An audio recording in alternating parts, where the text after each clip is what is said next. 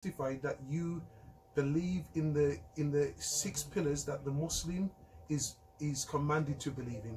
So with that now we'll go through the Shahada.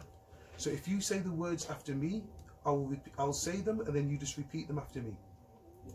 Ashhadu an la ilaha illallah wa ashadu anna Muhammad Rasulullah. And in English, did you come from a Christian background? Uh, mix. My mom's Muslim and my granddad's Arab Muslim as well, and my dad's Christian. Okay, so your father's Christian. Okay. Yeah.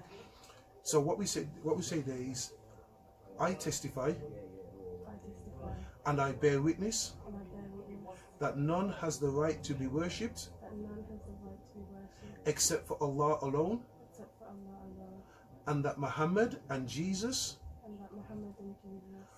are slaves and messenger of Allah, messengers of Allah. are slaves and messengers of Allah. With that, you've entered into Islam and you've become a Muslim.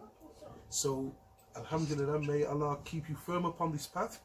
Your past sins have been wiped away. You start again, like the day that you've been born from your mother. Your, one of your companions has just come.